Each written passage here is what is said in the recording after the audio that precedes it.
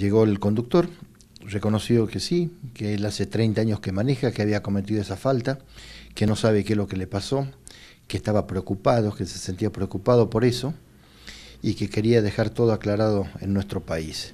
Realmente este, una maniobra peligrosísima, sabemos que esto ocurrió en la cuesta del Lipán, allá por el mes de abril, donde no se puede ejercer este tipo de conducción peligrosa, es un camino de altura, un camino sinuoso, un camino realmente que hay que respetar todas las condiciones de transitabilidad, porque esto realmente podría haber sido una catástrofe.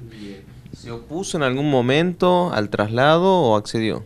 No, en ningún momento. Se lo invitó, él no está detenido, se lo invitó al conductor, un ciudadano de nacionalidad chilena, al igual que la bandera del camión, este, aceptó en todas sus condiciones, se le dijo que iba, se iban a labrar las actuaciones administrativas, se le imputaron varios artículos de la Ley Nacional de Tránsito 24449, en primer lugar conducción peligrosa, adelantamiento indebido, circular en contramano, se le retuvo la licencia de conducir, estamos hablando de faltas graves.